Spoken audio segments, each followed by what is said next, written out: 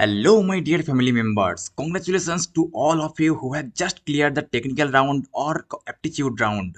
Now, your next round is technical interview. So, today we'll focus on some most asked important tier questions which are most asked. So, don't ignore those. And after this video, I'm going to upload an interview experience where I'll combine 3 to 4 interview experience in a single video. So, let's see what are the most asked questions. Question will look like what was your project all about? You should tell my project was centered around dash dash. Here briefly describe the project's main objective right? And the second question should go like what was the business need to go for the implementation or doing this project? So here you have to answer the questions like the project was initiated because of dash dash. Here, explain the specific business need or problem that the project aimed to address, right? Okay, the next question should go like, did you do the whole project yourself? If yes, then explain each and everything in detail. If no, then what was your project role in the whole project? So to answer the question, you should tell that I didn't complete the entire project on my own. I was responsible for this, this, right? So here explain your specific role or contribution in detail, including any task or responsibilities you handled, right? So the next question will look like, what difficulties did you face while doing your part of the project, right? So in this question, you have to tell that I encountered a few challenges during my part of the project, such as this, this, mention specific difficulties you faced, right?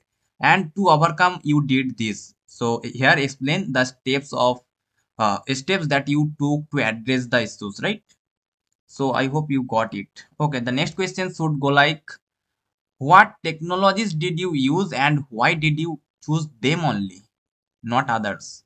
So you have to tell that i used dash here uh, here mention the technologies because here explain the reasons behind your technology choices such as their suitability for the project's requirements and industry standards or efficiency, right?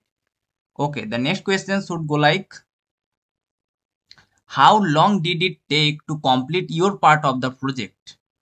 So in this question, you have to answer the questions like my part of the project took approximately dash dash mention the time frame you uh, take to complete, right? And it involved this. So here briefly mention the key activities or milestones during that time right? Okay the next question and the last most important most asked question is did you need help from people working on the other modules? So here you your answer should go like this.